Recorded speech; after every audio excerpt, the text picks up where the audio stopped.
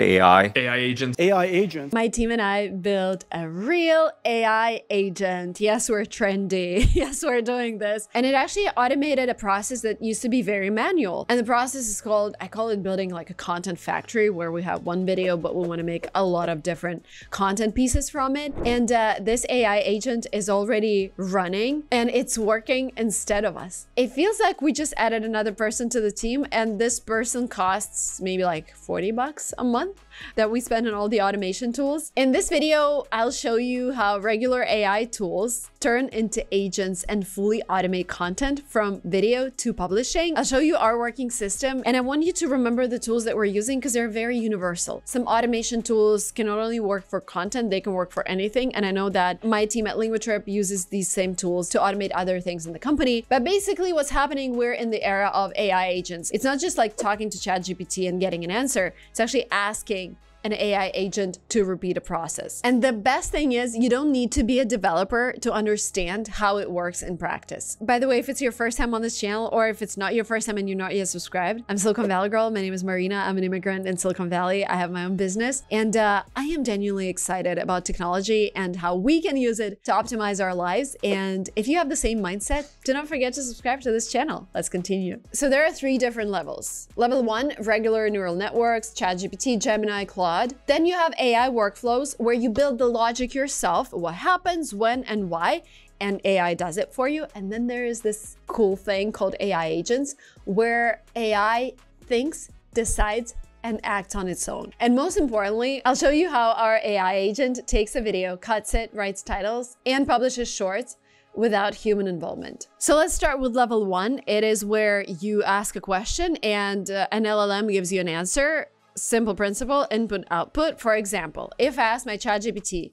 give me a list of the top five AI tools for YouTube, I get high quality, up to date answer. But once you ask, what videos did I publish on YouTube over the last three days? The model cannot answer. Why? Because it doesn't know who you are. It has no access to your YouTube channel, email calendar, unless it's Gemini. Gemini can answer questions about your email, but then you ask Gemini about the weather on a particular day and it's like, ugh, freezes. LLM is an isolated system that doesn't see your personal data, and that's actually a privacy bonus. But most importantly, these models are passive. They wait for you to give a command and they don't do anything on their own. They can't act, they don't make decisions, they don't build action chains. It's still just a tool, smart, useful, but not an agent. Then we move to level two, AI workflow. At this second level, you're no longer just chatting with neural network, you start automating. This is where magic starts happening. You build a logical chain of actions yourself. If A, then do B and C.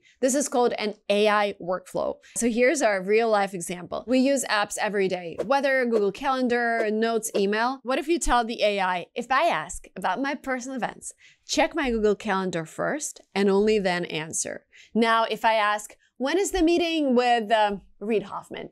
The AI checks the calendar and gives the correct answer. But if I immediately follow up with, uh, what will the weather be like that day? It fails again because you did not add the step check the weather. It simply doesn't know it has to check the weather, and that's how a workflow operates.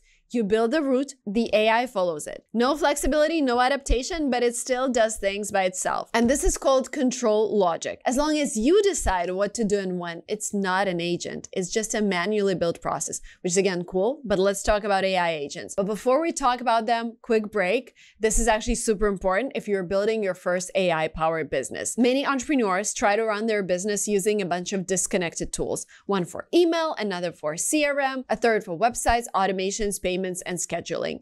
The result you're juggling multiple subscriptions and everything becomes even more complicated. That's where HighLevel comes in, the sponsor of today's video. It's an all-in-one platform for email and medium-sized businesses that helps you automate and manage everything from day one. With HighLevel, you can build your website or funnel with an easy drag and drop editor, launch email and SMS campaigns, manage leads and clients with a built-in CRM, collect payments, schedule appointments, even host your own courses, and keep all your conversations from Instagram, WhatsApp, Facebook, and more more in one shared inbox, so nothing gets lost. When you sign up for any paid plan that starts at $97 a month, you unlock access to HighLevel Summer of AI promotion. As part of this promo, you can try AI employees free for 30 days.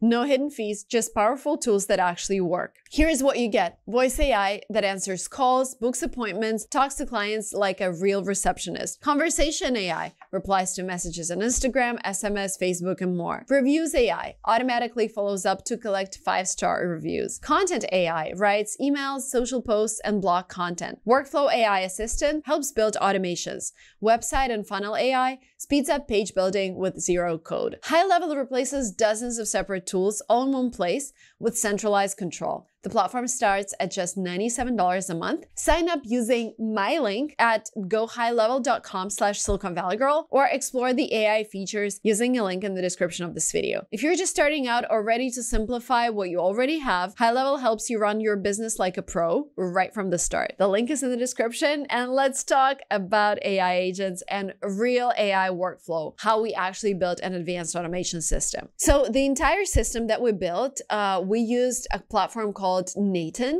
an automation tool similar to Make or Zapier, but even more flexible. It allows you to visually create a chain of actions between different services without writing a single line of code. Here's how our workflow works. All links to uploaded videos are stored in Google Sheets. This is our starting point where the workflow pulls the new tasks. The n8n scenario connects Google Sheets and retrieves most recent uploaded long form video link. This video is automatically sent to Klap AI, a neural network powered tool that converts long videos into vertical shorts. It detects key moments, emotional peaks, and generates clips in just a few minutes. But we don't stop here. Then we ask ChatGPT to analyze the content of each short and generate viral titles and descriptions optimized for YouTube Shorts. If you like, it does it better than the tool itself. We use a custom prompt to ensure the titles are catchy, concise, and designed for maximum reach. And the final step is automated upload of shorts to YouTube.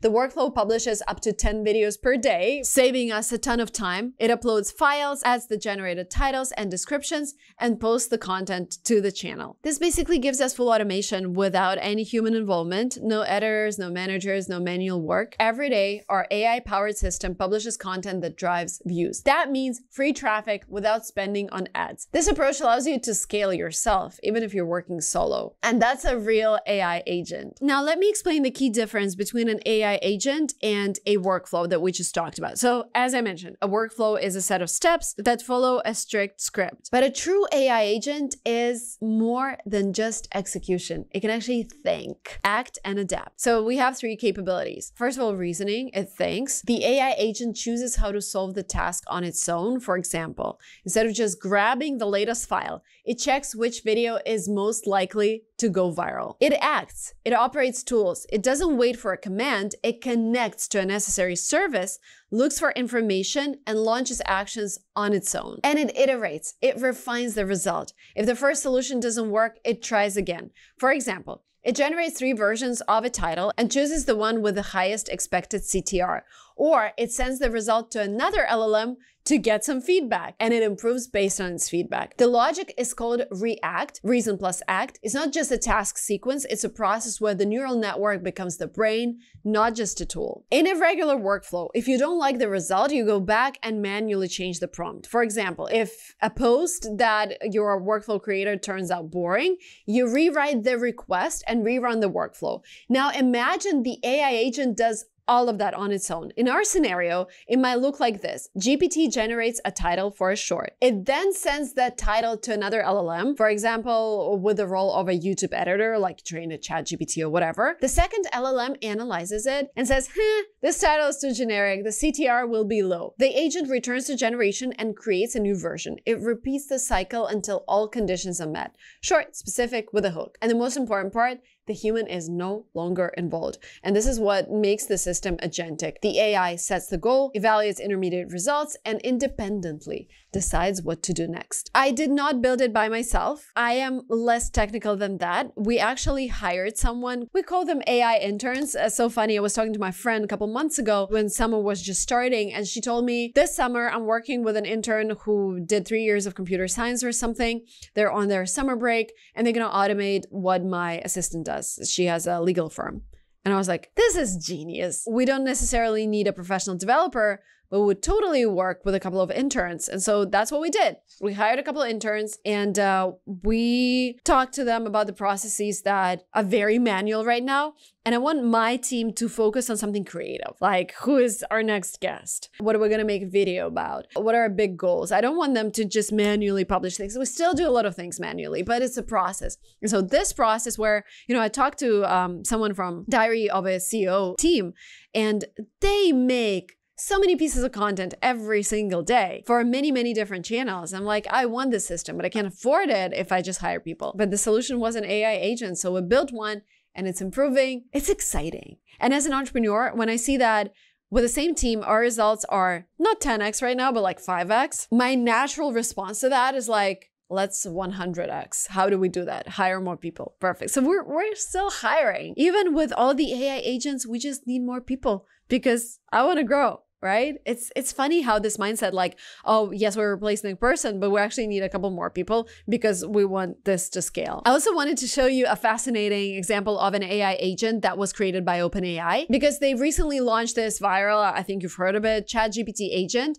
and it's no longer just a smart chatbot, it's actually an agent capable of completing goal-oriented tasks independently like visiting websites, gathering and analyzing information, filling out forms. Finally, someone is filling out out forms. As a person with a passport that required a lot of visas, I like, finally, guys, 30% of my business was filling out forms for clients to get a US visa or a UK visa. Finally. It works with Google Calendar. It creates spreadsheets, presentations, and even purchases tickets. I want an AI agent that knows how to utilize miles uh, and fly business class. Anyways, it uses a virtual computer with a browser, terminal, API access, and memory. It chooses the order of steps on its own, adjusts the path if something goes wrong, and it can repeat the cycle until it reaches the desired outcome. For example, you're right. Find the most viral YouTube shorts in the AI niche this week, analyze their titles, captions, thumbnails, and generate a content plan with hooks, titles, and video ideas from my channel.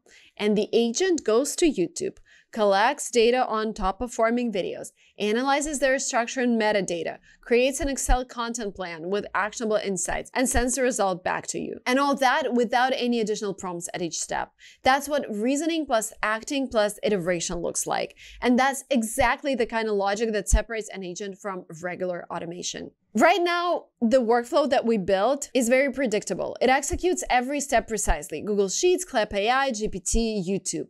But the logic is still set manually by us. To become a true agent, the system also needs to learn how to choose videos to process on its own. So instead of just picking a link to the video, ideally, I'd like it to go to my whole YouTube channel, analyze metadata, audience behavior, and trending topics and then generate shorts, test multiple title variations, tell me like, Marina, uh, you need to make a video about this, this, and that, analyze engagement and then publish the best one. You know, I was talking to a guy who built uh, a system where you can test ads in, in an AI world. Like you create an ad and then you launch it to this AI audience and uh, you can kind of predict the outcome.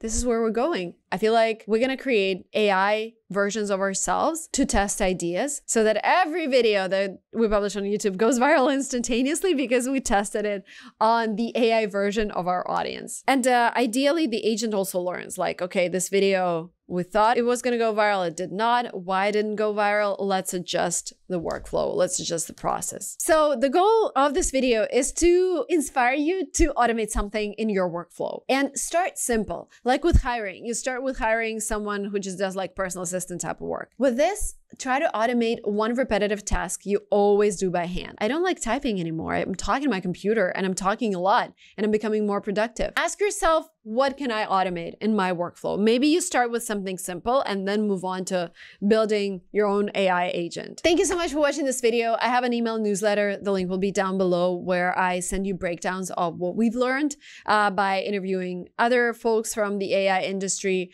by implementing AI into our processes. So if you're excited about optimizing things with AI, please subscribe and subscribe to this channel. And I'm looking forward to reading your comments. If you've tried anything and you're liking it, let me down in the comments below and I'll see you soon in the next videos. Bye.